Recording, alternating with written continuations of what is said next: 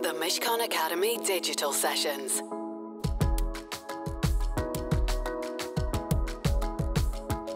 My name is Adam Epstein. Um, I'm chairing today's discussion. The discussion today relates to the issues that you and your business need to consider about self-reporting to regulators. Let me introduce you to our panelists. So the first panelist is um, a guest from outside, uh, from the ICO, is Laura Middleton. She's the group manager for the ICO's personal data breach service. And then in terms of the Mishcon folk we have here, John Baines. John is a senior data protection specialist here. Nikki is um, a partner in our betting and gaming group. And finally, I should probably tell you who I am. Um, I'm a partner here. Uh, I run the regulatory group, and my particular expertise is, is in dealing what we call uh, distressed actions with the regulators, so any kind of tricky situations that people have. So let me start the discussion by just telling you a little bit about what we mean by self-reporting. Uh, because obviously there's um, there's all kinds of reporting that the folk have to do um, in the regulated sectors, you know, annual reports or transaction reports. We're not talking about that kind of reporting here. The self-reporting we're talking about here is effectively when you're having to um, confess to the regulator that you've done something wrong or there's been um, some kind of a breach, in order to give people a sense of where everyone's coming from, it would make sense to start with a little bit of context. So, Nikki, can you just tell us a little bit about what the um, Gambling Commission requires by way of self reporting? The requirements for businesses licensed by the Gambling Commission kind of fall into two categories. There are a number of specific um, reporting requirements, and then there are some more sort of general overriding principles. Um, and on the sort of more specific side, um, most of the time we're looking at things um, that require um, notifications to be made by, to the regulator, and those are known as key events. And broadly speaking, those are events that could have a significant impact on the nature or structure of the business. As I mentioned, there's a number of other sort of specific notification requirements under the license, which would include a breach of the license conditions themselves or the social responsibility code provisions of the LCCP. But as I say, there are also some overriding disclosure requirements, which are more relevant to this discussion in particular, the Gambling Commission expects licensees to work in an open cooperative way and to disclose to it anything which the Gambling Commission could reasonably expect to know. And there's a sem- similar expectation that's actually set out in the LCCP, which includes anything that's likely to have a material impact on the licensee's business or its ability to conduct its activities compliantly. So those are the kind of situations where a number of different and sometimes competing factors will come into play.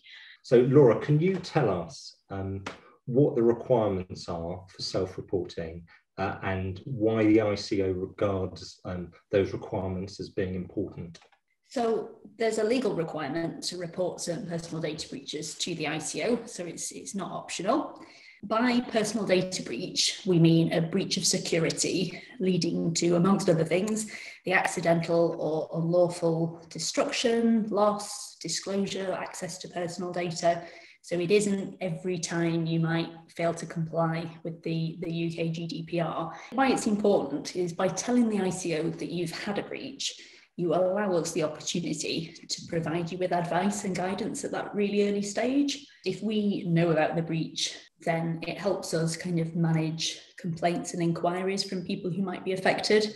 We use the information that we get from data breach reports to look for trends. So, uh, for example, we might look at particular sectors to see what the, the common breach types are in those sectors and then we try and use those trends to turn that into advice and guidance. I thought I'd bring in one of our competition partners, and as if by magic, here he is, uh, Neil Bayliss. And if you if you could just explain to the audience how it is that self-reporting works in competition, and how that obviously contrasts a bit, and you can see a different impetus for that and for the other regulators. Yeah, so as you know, uh, thanks Adam, the CMA is the uh, UK regulator for competition and much consumer law as well. There's no mandatory um, reporting requirement as such. What there is, however, is a very generous uh, leniency program encouraged, which encourages people to come forward if they have been a participant in a cartel. The law allows them to come forward to the CMA um, fully disclose what they've done, and participate in the investigation with the CMA. It's certainly better than the potential of a 10% of global turnover fine. Okay, all right. Thanks so much for that, Neil. But so what I really want to explore is the different elements that can go into um, decision making that, that um, organizations may have about whether to self report or not. And one element, quite realistically, of that, of the calculus that, that, that people make, is uh, are the regulators going to find out anyway? There's an obvious benefit, isn't there, to making a virtue out of it? Um, and that I think probably comes up a reasonable amount in data, which is why I wanted to ask John. The advent of GDPR did a few things. Um, uh, and, and, one thing it did do was was raise the uh, awareness of the general public around the issues of data protection. And what we see now is that um, increasingly the media, and, and, I'd include social media in that, um, pick up quite quickly on issues that that might be data breaches. So what what we have found with some clients is while they are internally um, just becoming aware of an issue, um, already the media are starting to run with it. I think this raises quite interesting issues issues for for controllers as to whether they need to notify the ICO. Effectively, you you only have to notify those breaches where there is likely to be a risk to the rights and freedoms of natural persons, and and that and that that threshold, is, is not always a straightforward uh, test. So the question may be should we make this notification anyway? E- even if the threshold might not be met, do we make a notification because at least we are in, in some respects controlling the, the information flow? Laura, how about if somebody decided they took the decision not to report, but the regulator then found out about it and took a different view? What would the ICO, what are the consequences of a failure to report if you, the ICO, think a report should have been made? We do expect um, organisations, when we're carrying out an investigation, to be open with us. And so it's possible that um, if we decided to move to a sanction, that we would sort of take the fact that we found out about a breach in a way that wasn't from a direct self-report, that we would take it into account there or perhaps if we were taking action for um, the breach of security itself, so you know, failure to have some sort of control or measure in place to prevent the breach from happening in the first place, we might then, you know, almost like add an additional line to that sanction about the failure to report.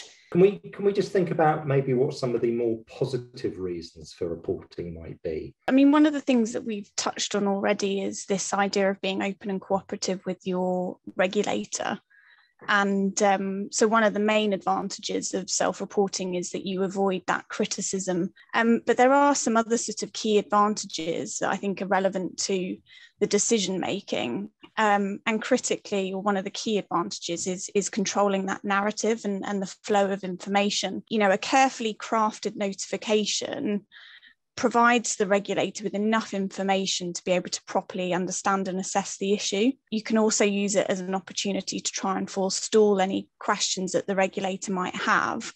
And the benefit of that is that if you provide too little information or they are bombarded with too much information, you know, the regulator might not quite be able to make head or tail of, of, of, what's happening and take a more sort of scattergun approach in response in a bid to find out the information it needs. Ultimately, the regulator's interested in you know working out whether there's been a breach of a regulatory obligation or if there's an ongoing risk of um, to the licensing objectives or, or harm or risk to, to consumers and by controlling that narrative you can assure the regulator that you are continuing to take steps that are necessary to address those particular risks and minimize harm. Um, but I think one of the other advantages that's worth sort of touching on is the fact that if regulatory action does follow, and there is a payment in lieu of a financial penalty made as part of a regulatory settlement. The Gambling Commission will take account of any early and voluntary disclosures that have been made. So those are the kind of some of the positive reasons for for why you might report. Uh, the reasons why people uh, might not want to report, I guess, in some senses, are very obvious. What I wanted to think about actually um, is maybe some of the less obvious risks. Um, and I know that John, from his work, has uh, got a got a good sense of um, other risks that may be less obvious to people. A personal data breach, as defined in Article 412 of the UK GDPR, um, is a neutral thing. And you should still notify this neutral event to, to the ICO. And I, and I mention that just because the, the, there is certainly with with with personal data breaches that that go public even though it doesn't if you like constitute any concession of fault on on your part what we increasingly see is is what the, the phrase i keep coming back to the long tail of a data breach. Um, and and that really con- consists of potentially a regulatory investigation but also complaints and increasingly claims or, or, or, letters before claim, menacing letters coming in. And the solicitors take the view, the, the law firms, that this, this happened, therefore you must be at fault, therefore we're going to threaten you with, with legal action. Are there circumstances in which an organisation might notify um, a, a, data incident or breach to you and you then effectively lean on the organization to contact its customers to make sure that they can be made good or people can make claims. There is a requirement to um, notify data subjects in certain circumstances. So uh, that is where the risk to those data subjects is considered to be a high risk. So it's a higher risk than reporting to the ico to start with. So if we thought we were in that territory then we could be that we would be encouraging the organization right to contact the affected data subjects. And um, if that wasn't done voluntarily, then we have powers to compel the organisation to inform those data subjects. On the subject of complaints, I would almost say I can I can see that we were talking about maybe some of those breach reports um, that are made that don't meet the threshold. I think sometimes um, organisations almost like to get ahead of a complaint um, and make their notification to the ICO first, even if they're not strictly required to do so, almost because they're kind of seeing how these might play out with individuals in the future.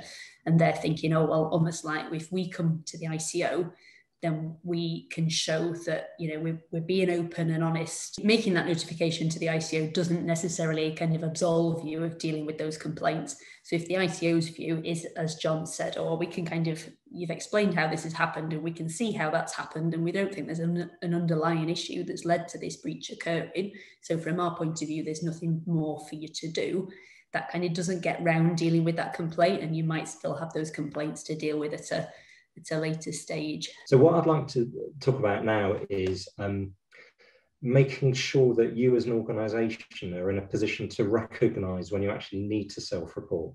And I know Nikki's got um, uh, a few things to say about um, training uh, and ensuring that people know what needs to be self-reported. Put simply, you know, training is an imperative part of ensuring that there's a general awareness within the business of, of the licensee's obligations um, to, to report and, and ensuring that that training extends beyond your sort of compliance teams. Um, you know, often we see businesses with very good training materials in place, but they just aren't delivered to, to the people on the ground. In regulation, there has been a, a real direction of travel over the last few years towards personal accountability. If I could just ask really quickly, um, first Nikki and then John, how they see um, accountability playing out in betting and gaming and in data where it's less obviously developed at the moment. You know, as you say, there's that same expectations of people in senior positions and personal management holders, license holders, as it does of, of the licensee, the corporate entity um, it expects those people to disclose anything to the Gambling Commission that it would reasonably expect to know. It expects them to be open and cooperative. Um, and what we've seen, and certainly in the last couple of years, is that where the corporate entity has its license reviewed, um, it's increasingly common for the personal management license holders to have their PMLs reviewed um, as well as a sort of follow on to the, the main license review. John, it works somewhat differently, doesn't it, in data? The data protection framework works on the basis that the legal person that's accountable is the organization, the company. And I just stress some people sometimes think oh well if there's a data protection officer then it must be them who's accountable and i think it's crucial to say that's that's neither the role nor the, nor the responsibility of a dpo to to take everything on their shoulders. They they, they effectively perform an advisory role within an organization. In uh, in a number of situations there might be a number of different regulators. So there could be different regulators domestically or there could be um, different regulators um, internationally, and that might impact how people decide to deal with self-reporting issues. Do you want to just, just tell us a little bit about that? So the UK, as, as I guess everyone knows, is, is no longer part of the EU. We're now subject, companies, controllers in the UK are subject to the UK GDPR. Uh, the EU GDPR carries on regardless in, in, in the rest of Europe and and what that creates is is a slightly problematic position for for companies who are operating in the UK and in European countries, in that when it was all one one thing, one EU and and one GDPR, there was the concept of a lead supervisory authority. With the UK out of the EU now, there is a risk that you're actually the, the, the, lead supervisory authority concept falls away for UK controllers. And if you're operating in European countries, you may find yourself having to make notifications to regulators in all of those countries and potentially be subject to regulatory investigations in all of those. So that, that's a long answer for, to say it, it's complicated. Thank you to, to all of you. And what I hope that people can take from it is um, that these are things that don't only apply to the particular uh, regulated sectors that we're talking about, but that can apply across the board. Um, and really, I just want to say thank you very much. And we hope to see you at our future events or digital sessions. The Mishcon Academy Digital Sessions. To access advice for businesses that is regularly updated, please visit mishcon.com.